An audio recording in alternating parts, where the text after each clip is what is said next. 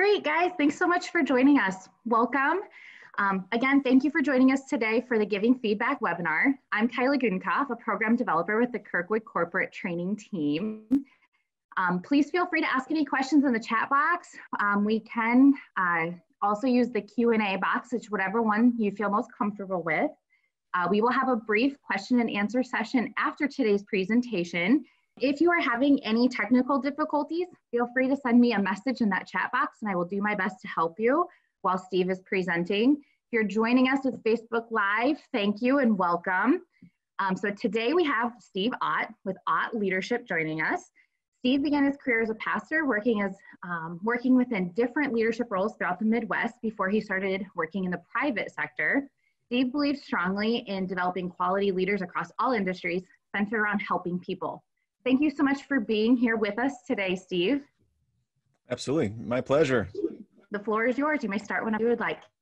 All right. Wonderful. Well, thank you everyone for joining us today. Uh, again, my name is Steve Ott, uh, the owner of Ott Leadership, and today we're going to talk about the art of feedback. Five ways to to give better feedback to improve your leadership. There's a few things we want to do today. Uh, first, we want to understand why feedback is so important and why we struggle to give it well. We also want to understand the ways we can improve giving feedback. And finally, we want to understand the steps we can take today to get better at giving feedback. But before we go too far down the road here, can we just say, hasn't Kylie and Kirkwood uh, Corporate Training done a good job? I mean, seriously, really, good job, right? Like, seriously, good job. But what does this even mean? what does good job even mean? Really, is it a good job that this is only a half hour, not a full hour? Uh, is it good job uh, picking an awesome presenter, right? Or is it a good job not sending uh, cookies to everyone listening, right? A good job can mean almost anything.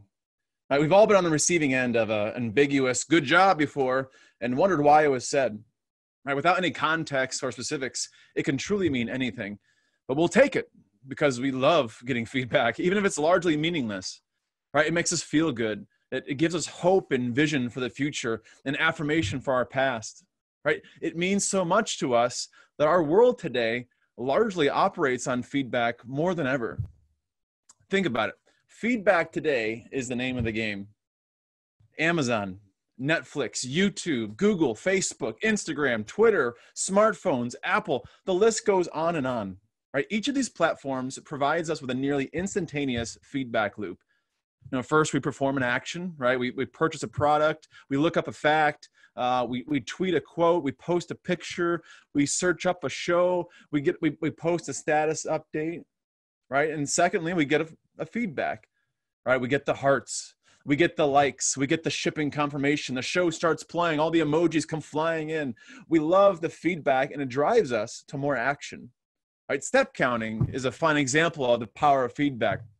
It seems like everyone these days is counting their steps, right? While it's great for fitness and health, absolutely, it's also a near constant feedback loop.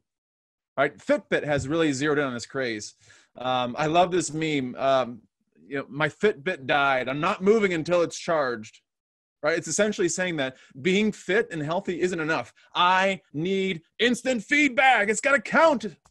Right, you get alerts for everything with Fitbit, right? From hitting your 250 steps an hour to being active a certain amount of uh, hours a day to hitting that magical 10,000 step mark where you get a big fireworks display on your wrist. I once worked in an office that adopted a step counting challenge uh, that paid only a few dollars a day uh, to your health savings account if you achieved certain milestones. And as soon as this challenge started, the office basically lost its collective mind right? People were getting up in the middle of meetings and power walking around the conference room table. I'd walk into the break room and I'd see someone marching in place uh, while heating up a burrito. Right? The desire to achieve even small amounts of feedback in a few dollars was enough to spur on new and unique action. Right? It's not a coincidence that companies like Fitbit are including small encouragements and fireworks displays for hitting milestones. We love the feedback. Right? This feedback reality is even more true of the modern workforce. All right. The modern workforce today is, is currently fairly diverse. In, in 2016, uh, millennials led the way with 35% of the workforce, right? You can see kind of the, the diversity here. But by 2030, it's estimated that millennials and Generation Z, which is the next generation below millennials, will make up to close to 75% of the workforce. Right? This will have a dramatic shift on how we lead in the workplace as each generation of worker carries with them a set of ideals and desires on how they want to approach work, right? And one of the major markers of millennials is the desire for feedback, right? If millennials have anything to say about it, the days of once a year reviews are essentially over, right? If leaders are looking to engage with the current and future workforce, you better get comfortable with giving feedback frequently according to research, 42% millennial workers are looking for feedback every single week from their managers. That's twice as much as every other generation. Furthermore, employee engagement, or how mentally and psychologically and emotionally committed a person is to their job, it's highest in millennials when they meet with their managers at least once a week. Right? Feedback has a big impact on the modern workforce. Unfortunately, though, it's not happening as expected. Right, despite the overwhelming evidence uh, for the need of giving feedback in the workplace, few managers are consistently giving it. According to a Gallup study, only 21% of millennials and 18% of non-millennials report meeting with their manager on a weekly basis. That's more than half, of, and, and more than half of all generations say it's less than once a month. Once a month. Worse yet, when feedback is given, it's done poorly. In a recent study, one third of employees do not believe their performance reviews are helpful and 42% of employees would give their managers a C grade or lower in giving feedback. Right? There's a vast, vast disconnect between the great need for feedback and actual feedback given. But why? I think there's four big reasons why leaders and managers struggle to give feedback. First, it feels time consuming. Right, this is a real concern, certainly. According to research, three out of five workers are considered to be working in a high stress capacity, citing workload and people issues as primary stress inducers. Right, adding frequent feedback seems to be the last thing you want to do. However, I believe that giving frequent feedback actually helps you gain time in the future. Right, when you devote time to giving feedback, you're increasing communication, you're increasing trust between you and your team, you're ultimately increasing performance of your people. Right? Any time spent giving feedback then will return to you with a more effective, informed, and confident team. What also feels unnecessary, right? Stop me if you've heard this one before. You know, we're paying them, so what else do they need? Well, okay, that's a totally valid point, especially if you equate giving feedback with paying out salary. However, these two items are not the same, right? Salary is used as a reward for job performed right? But feedback is utilized to improve and maximize said job performance. Anyone can perform a job at a mediocre level for salary, but feedback can help someone perform that same job at a much higher level. The next thing is it can, it can feel overly personal. And this is an unavoidable reality, right? Giving feedback is personal. Right? You're investing your energy, your time, your resources into the life of somebody else. Right? You're sharing your thoughts and opinions on someone's performance in a way that others aren't.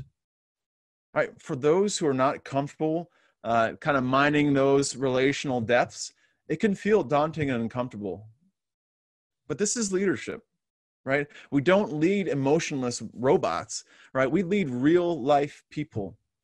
In the same way that you have doubts and fears and dreams and goals, the people you lead do too they have doubts, they have fears, they have dreams, they have goals, right?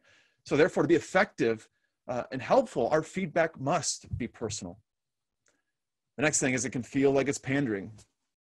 Yeah, one of our favorite, our culture's favorite, favorite things to do and favorite insults is to claim that millennials and the younger generations want participation awards for everything right? Hey, you showed up on time for work, you get a trophy. Oh, you met a deadline, you get a certificate of completion. You led a decent meeting, you get a bonus check. Although that's that's not a bad idea. I want that too. Right, but depending on your frame of reference, feedback can feel like this. Right? It's just appeasing the soft egos. However, if you view feedback as a way to sharpen and smooth the rough edges uh, to maximize performance, then it's not pandering at all. It's actually empowerment. So, certainly, if you have no desire to help your people grow, then yes, your feedback is pandering. But with the proper focus, your feedback can really help someone soar. Here's the reality though you cannot lead well without really embracing feedback. No matter how hands off you want to be as a leader, you carry a unique perspective within a position of authority. You have the ability to radically impact performance of your people with powerful feedback. Right? If you mess feedback up, you can alienate, you can hurt, you can even uh, lose your people over it. If you want to lead better, you need to grow in how you give feedback. But it's important to realize that giving feedback is not like math, right? Uh, where two plus two always equals four. You can't just simply plug feedback into an equation and get the same result every single time. Rather, feedback is an art, right? Where every person, moment, and situation requires a different kind of feedback, different kind of response. Right? It requires leaders to be less rigid and formulaic and more artistic and dynamic. But like art, you can grow in your skills with practice, focus, and determination. Right? Here are five ways I think you can uh, you can use to improve your feedback skills. The first is this: schedule regular time together. Right? One of the main concerns when trying to give feedback is a lack of adequate time to actually give it. Right? And, and as previously mentioned, you're already stretched the max. Right? So with feedback, what we tend to do is rely on the uh, spur of the moment organic feedback, right? I'll just when I see it, I'll say something, right? I'll let it come naturally. Well, this is a great mindset to have. Absolutely. We all know what happens with hopeful endeavors like this, right? It's like making your bed every day. Or I'm going to read more books and I'm going to start exercising in the morning, 5 a.m., baby. I'm going to start eating healthy. Throw all the brownies away. It's healthy eating right? Committing to random, organic, spur the moment feedback gets swallowed up by the whirlwind of the day, right? When the going gets tough, when life comes at you fast, the calendar starts to fill up, those extra things like feedback are the first things to go. You see, feedback won't happen on accident, right? You, you will not make the time to simply give feedback unless you intentionally set aside time to do so by meeting on a regular basis with your people, you'll have a predetermined built-in time to actually give feedback, right? And there's two considerations to make when you're scheduling regular time together. First is this, regular is best, absolutely. Regularity in meeting is the key to growing and giving feedback. When you have a regular meeting set, your people will start to anticipate what the meeting will be like, right? They'll come ready with concerns. They're gonna come ready with thoughts and questions, maybe issues they can't solve, right? You're gonna have a preset time where you can speak into their life. Regularity primes the pump, if you will, for you to lead well through feedback. The conversations will go deeper, right? You're going to be able to add layers upon layers that increase the value of your insight and coaching. While frequency is important, being regular allows for important anticipation and growth.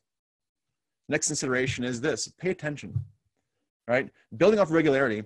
When you know when your next meeting is coming, you'll need to start noticing your people's effort a lot more. And this seems silly, but it's it's true, right? How do your people approach their jobs? What's their unique contribution? How do they stand out? Right? How how is this person impacting our culture, both positive and negatively?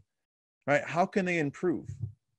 Feedback is your opportunity to show that you care and value your people right? By taking the time to pay attention, you're demonstrating that you care about their work and you're willing to notice their efforts. Overall, setting aside regular time is an important first step in the process of giving better feedback. Right? You can't fabricate more time in the day, but you can protect the time you do have to devote it to feedback. Uh, the next thing we can do is be specific and constructive with our feedback. And this is where the dreaded good job comes into play right? You've gotten the good job before. It's, it's vague, it's useless, um, but it gives you that brief emotional high, but ultimately offers you nothing to help you really progress and grow into the future, right? If you want to give better feedback, it needs to be specific and constructive. Right, and I think there's four questions you can ask yourself to help you give uh, more specific feedback. First is this Is my feedback based on factual events or simply my interpretation? Right? When you hit someone with a good job, what you've done is interpreted the event from your own perspective right? Based on your experiences your thoughts your background and the emotional feeling you got you've arrived at a judgment. This was a good job. But the issue is that all of this legwork was done right up here internally. And the, the feedback recipient can do nothing with it because we can't read minds yet right? We're left to guess the context and the meaning, thus negating the overall impact of good job. By shifting feedback away from personal interpretation and onto specific events that actually transpired, you take the guesswork out of feedback. right? So instead of saying good job, you can say, hey, you know, the way you organize the event really helped emphasize this year's theme in these specific ways. Or, hey, the ideas you shared during the meeting were helpful because it aligns so well with our goals. It helped us take the next step forward. Right? With feedback like this, there's no speculating uh, what is meant, right? It's it's specific and focused on exactly what happened. The next thing is, is my feedback based on this person's real measurable behavior? Right, piggybacking off the previous guideline question, your feedback needs to be focused on what this person is actually doing, right, while pointing out measurable actual results. Right, this is particularly important when the feedback is negative. Right, no one likes giving negative feedback, but we have to do it at times. Right, our goal with giving feedback is to help someone grow and progress past where they've been.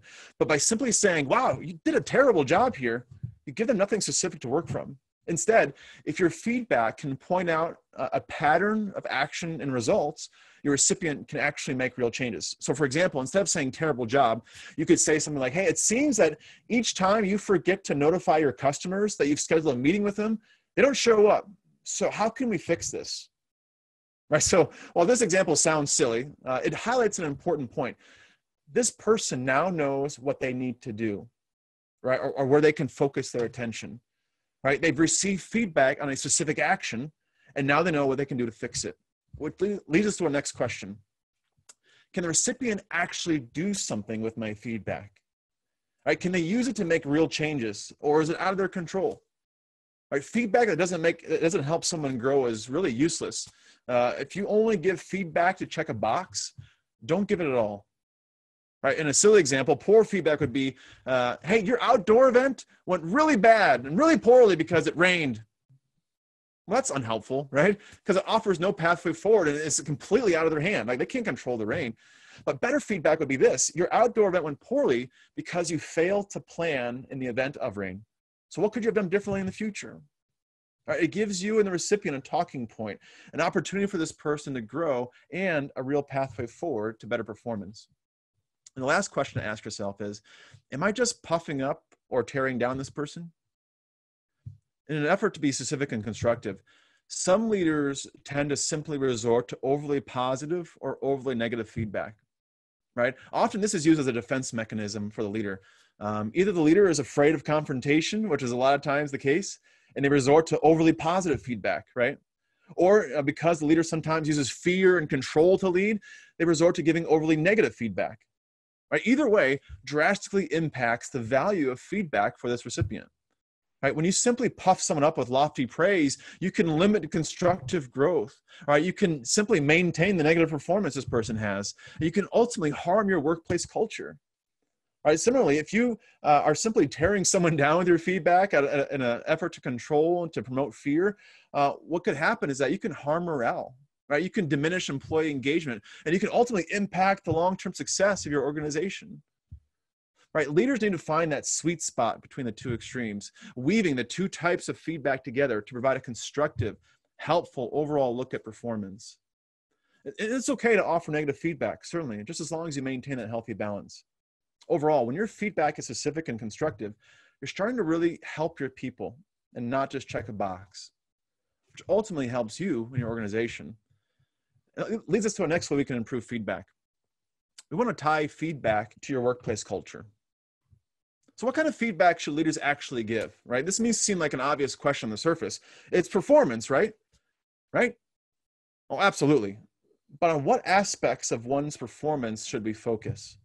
Right? Our performance has so many moving parts that to filter out the most important aspect can be difficult. Right? What's the leader to do then? Well, you should tie your feedback back to your organization's workplace culture.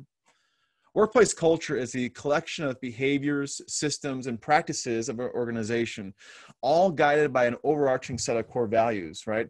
Culture helps employees decide how to act, how to treat one another, how to approach work, how to value and serve customers, what success looks like in the workplace, and so on, right? Culture helps us understand how we should live life at work. Right? The more employees buy into culture, the more employees align their actions to match the culture. So when your feedback is tied back to who you want to be as an organization, you're helping people learn and understand what matters most to your organization. In other words, by crafting your feedback around the cultural norms of your workplace, you're pointing them in the direction the organization wants them to go. So, for example, if your culture emphasizes the customer experience, then you'll want to focus your feedback on how the employee treats the customer. To leave this crucial element out would de emphasize the value of customer service. But by giving feedback on it, and specific and constructive feedback on it, the employee will be looking to either replicate or adjust their performance to better serve customers. Right? As you're searching out how to best give feedback, consider what your organization cares about and then focus your feedback energy there. The next way uh, we can give better feedback is to be transparent. Okay. In a recent study, the top factor in employee engagement and happiness uh, in the workplace was leadership transparency. Right. Furthermore, leaders and managers who are transparent are considered to be more trustworthy and, and effective in the eyes of their employees. Right. In, in a world filled with PR spin, untrustworthy reviews, bots, false advertising, and a general climate of distrust in the world, employees are craving transparency. Right, being transparent means to uh, be open and honest, uh, whether it be uh, something positive or negative, in a way that's accessible to others being forthright without sugarcoating it or spinning it. Transparency when giving feedback is a must. And this is the reason why. Giving and receiving feedback is an inherently intimate exercise. The recipient is inviting you into a potentially sensitive space, allowing you to speak truth to an area of continued weakness or perpetual growth. Right? No one likes to be called out or criticized or corrected. Um, so you hold a lot of power as the feedback giver. If you then shield the truth or alter it for the sake of your own personal comfort, you're doing more harm than good. When you aren't transparent with negative feedback, you're delaying the possibility of future growth, which we've also discussed already. But transparency also applies to positive feedback right? If you're unwilling to be honest about someone's positive performance out of fear of being too effusive or losing control or power, you're only serving to mislead this person ultimately. When you aren't transparent with your people, you're essentially telling them that you can't trust them with the truth. Right? Assuming you've surrounded yourself with the right people, why not trust them? They probably know the truth already. So by sharing transparent feedback, you are putting yourself in a position to help them figure it out. So don't withhold the opportunity to embrace new growth and change. Instead, be honest and go from there. And the, the, the final way you can grow and, and give better feedback is prioritize what you share. Finally, not all feedback is created equal. Okay, as a leader, you need to prioritize the type of feedback you're going to give. Everyone is busy. We've determined that, right? So dividing, uh, diving into the minutia of one's performance isn't practical. So the feedback you do give needs to pack the biggest punch. So, in an effort to prioritize your feedback, ask the following question If the feedback I give is actually taken to heart by the recipient, what would I need to say to make the biggest impact? What happens if, when you give someone feedback, they actually do something about it? What would you say then? now, the idea of biggest impact it may be vague in and of itself, but when you start to compare different pieces of feedback to one another, the biggest impact tends to rise to the top. For example, when commenting on someone's uh, work presentation, what makes a bigger impact? Uh, speaking on the content of someone's presentation or uh, commenting on the design of the slideshow? Right. Well, co- content maybe seems obvious, but what if the colors are really crazy? You can't read anything, or the font's too small. Either way, when you prioritize, you're helping the recipient order his or her thinking. Now they know what to, to go after and attack and focus on.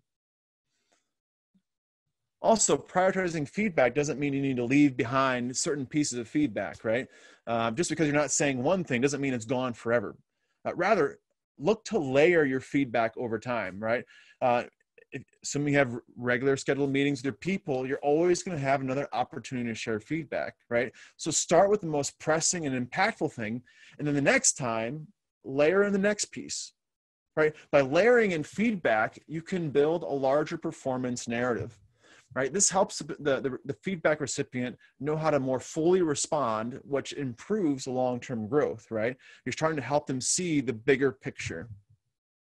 Now, if you haven't been giving feedback or, or helpful feedback or feedback at all, right, or if you're only focused on the once a year review, it can feel daunting to start making the shift towards giving better feedback. Right? Where do you even start? I think there's three things, three action steps you can take right now to kickstart your improvement. The first is start now. Right? Don't wait to get feedback. Don't wait for that perfect moment uh, when everything, the stars align and everyone's in the same place in the same time. Like, especially during this pandemic, we can't do that, right? So as soon as we're done here, turn around, go find someone, call somebody up, text somebody, and tell them how they're doing. It doesn't have to be a special event or a scheduled meeting or something monumental. Just start. Right? Give someone around you specific, genuine feedback that helps them grow right now. Don't wait for them to come to you, right? As a leader, take initiative and go to them. Also, start small. This is maybe the, the, the, most difficult thing for people because they feel like their feedback has to be this profound, life changing advice, um, something that'll go in a, a, quote book somewhere on uh, Barnes and Noble shelves, right? Your feedback doesn't have to be profound, right? That's okay. It doesn't have to be profound. Start small with small pieces of feedback. Because here's the deal you will never know the true value of the feedback you give, big or small. I'm sure that all of you can think of a time when something, when someone said something to you that was seemingly small to them, but made a huge impact in your life. Right? Starting small gives you the, a chance to try feedback out, right? Get comfortable with the language of feedback, of giving it uh, on a more frequent basis. Allows you to ultimately build to more important feedback. Finally, practice everywhere. Practice giving feedback everywhere you go right? If you want to get better at it, you have to practice no matter where you are, whether you're the leader or not. Okay, truly, you can give feedback anywhere, right? We're giving feedback on Amazon reviews, uh, when we tip a, a waiter at, at, a restaurant, when we talk to our kids, right? When we're critiquing movies, the list goes on and on. We are giving feedback everywhere, so we should give feedback everywhere. Because if you can practice giving feedback in low pressure situations, you'll be better prepared to give it in high pressure situations right? So using those five ways to improve feedback, as we discussed earlier, let your waiter know how he did. Right? Tell a manager at a store about how well and how specifically well a cashier treated you. Right? Tell your kids exactly what they did that made you proud. If you can develop the language of feedback outside of work, your leadership at work will naturally grow. Now, in a study of how positive feedback impacts performance, uh, behavioral sci- scientist Dan Ariely found that even rudimentary positive feedback caused a significant boost to overall performance. On the other hand, offering no feedback at all had nearly the same effect as offering destructive feedback. Check out this quote from one of his books. If you're a manager who really wants to demotivate your employees, destroy their work in front of their eyes. Or if you want to be a little more subtle about it, just ignore them and their efforts right? On the other hand, uh, if you want to motivate your people working with you and for you, it would be useful to pay attention to them, their effort, and the fruits of their labor. Listen, feedback doesn't have to be scary or difficult. Right? All it asks of you is to pay attention to your people, their efforts, and what they produce. If you can do that, you can begin to give helpful feedback. And it may not come quickly to you uh, at first, but much like art, the more time you spend with it and working on, on, on honing your craft, the easier it will come. Simply focus your attention on your people, care about what they do, and tell them about it. Yeah, it's personal. It, it takes time. It may feel awkward. It may feel unnecessary. But if you can master it, you'll become a stronger leader and your people will become better employees. Don't neglect the important work of giving feedback. Your people need it. Now, what kind of questions do you guys have?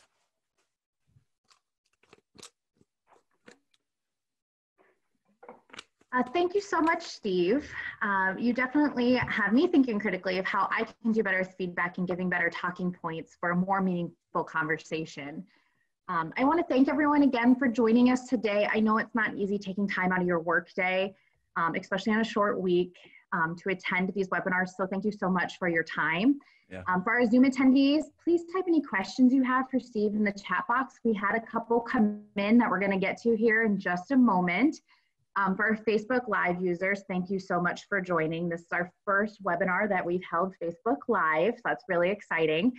Um, I just want to let everyone know, uh, Steve, if you could go to, I believe, the next slide of, sure. on your deck. Um, Steve is actually going to be presenting a deeper dive into this topic at the upcoming Business Partners um, Training Consortium. So if you would like to be part of that, feel free to reach out to Kirkwood Corporate Training. You can send us an email or you can give us a call um, at 319 398 5623. We would love to have your company and your organization there. Or if you'd like to bring Steve in house, he does this topic and many others on leadership. So if you guys just give me a moment, Facebook Live viewers, thank you so much again. We're gonna go ahead and end that. Um, if you guys are interested in the Q&A session, we will be posting it to YouTube later. So Steve, while you were talking, I think one of the cool things that I just wanna shout out was just that meaningful conversation piece. I know how often I forget that feedback is meant to be meaningful conversation. So I really love that tidbit. Um, one Absolutely. question that we've had come in was, what suggestions do you have um, when someone's giving feedback and the recipient is maybe being defensive um, and they're just not open to having some constructive feedback? Yeah, absolutely. That's a great question because um, I think that that's a lot of why people avoid uh, giving feedback, right? It's confrontation. It's um, it, it's it, it, can it's it's personal, right? And someone's going to respond in a personal way. Uh, but I would say that this is maybe um, th- this is maybe cheating, but I would say that part of why we have issues like this is that we aren't doing any pre-work and building intentional relationships right um, a lot of times and you're probably gonna if, if you haven't been giving feedback right you're gonna encounter this probably more often than not because when leaders give feedback to their people it's often viewed as you are punishing me, right? Or you're, you're coming down on me. Like you're, you're I'm, I'm worried for my job, right? So people are already defensive when they meet with their people. So that's where that, that regularity coming into play is, is so helpful because um, once you diffuse that, and I think part of what you can do to diffuse that is to let someone know up front, hey, I'm gonna be giving you more feedback, right? I wanna meet with you regularly. I wanna talk with you more. Um, I'm, I'm being upfront with you that maybe we're going to have things that um, I'm going to say to you that maybe you won't agree with or you're not sure about. But the whole purpose of meeting is so we can talk about it, right? I'm giving feedback. It's not so I can give you a performance review necessarily, but so I can help you become a better employee. So I think if you can preload those conversations, you're going to have a better outcome, and you're going to maybe see that diminish as you go along. Um, the more often you meet, but certainly at the, at the outset, um, you're going to have that uh, that fear sensor, that fear perceptor that we all bring to those meetings pop up until you can start to diffuse those with regularity. Perfect. I love that intentional relationships. Um, very good. So we got a comment here that says practicing giving feedback. Steve, I really appreciated your energy during this webinar. You kept my intention and I am now motivated to take some next steps in giving feedback. So thank yes. you to whomever sent that. That is great. Um, and then we had another question here of how do you ask someone to provide meaningful feedback when they aren't using some of the best practices you suggested here? So I'm, reading the question myself again. Uh, when you're giving feedback, um, tell me which one again. I think I missed that question. One more time, Kyle. Oh yeah, this one is in the chat. Oh, okay, it's perfect. How do you ask someone to provide meaningful feedback when they aren't using some of the best practices um, here that you yeah, outlined? okay. So you're essentially giving feedback to the feedback giver, right? and I think that uh, you know, depending on the type of relationship you have with this person, you know, it's um, again going back to that first question almost, right, where you may you may start out with that contentious relationship, especially if this is not something you're used to. Um, but if you are, uh, depending on the, the, the dynamics of your relationship, I think you apply the same exact uh, principles here, right? Um, you, you kind of set the set the stage for the relationship. Say, hey, um, when you give me feedback on this, it isn't helpful because boom, boom, boom. These reasons, right? You're being specific. You're being constructive. Um, when you said X uh, on this date, I didn't know what to do with it, right? When you said good job, I wasn't sure what you meant by that. So now you're being, uh, you're, you're, talking about real events, right? Um, you're essentially eliminating emotion from it. You're not saying, I need you to be more attention. Like you're not, you're not doing that kind of stuff, right? But rather you're saying, um, here's the reality. Um, I didn't understand this. Or it could be more helpful for me if you can say it like this, all right? Um, this way you're, you're kind of, you're, you're pushing the feedback upstream a little bit uh, and giving someone a sense and, and really training them on what they can start to say themselves. Very good. I like that idea of feedback being a two-way street. It doesn't just have to be a one-way uh, communication. Absolutely. Uh, and then we have one more question of how do you handle feedback with someone that feels you are both sharing opinions and having a conversation versus sharing what they are doing right and what needs a tweak? So, if I understand this question correctly, um, this person is giving the feedback, and there's kind of a um, there's kind of a, a, back and forth of we're we're we're talking or having a conversation, but also talking about maybe very specific feedback items.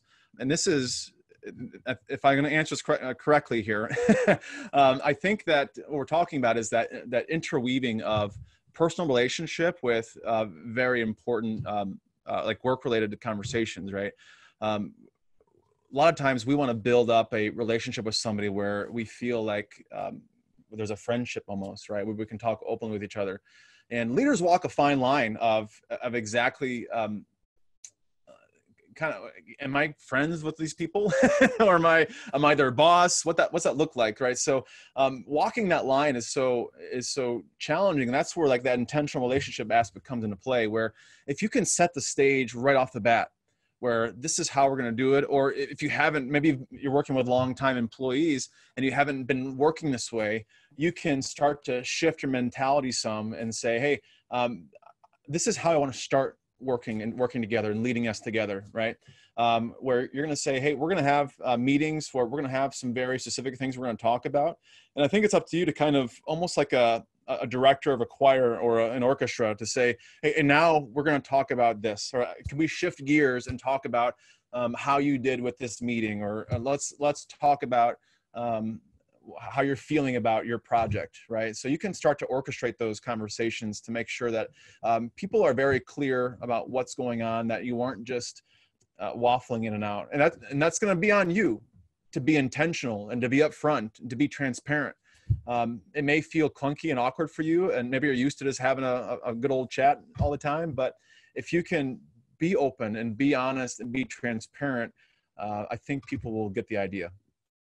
Perfect, great. Um, if after today's session, if you think of a question, feel free to email us uh, at corporatetraining at kirkwood.edu and we'll connect with Steve. Um, and again, he'll be presenting as part of our Business Partners Training Consortium. Uh, his presentation's on March 18th. So we actually have eight different speech speakers on eight different topics throughout that training consortium. And we'd love to talk to you about that if that is something you're interested in, or if you're interested in having Steve come in and do this topic or a different topic on leadership. Uh, again, if there's anything we can do to help you guys, we're all in this together um, with all this COVID and also learning how to develop and be better leaders um, and better team members. So at any time, feel free to reach out to Kirkwood Corporate Training. We're always here as a resource. Steve, thank you so much for your time today. Um, if, again, if anyone thinks of anything, feel free to reach out. We're always here for you. Absolutely. Thank you so much for having me. I appreciate it.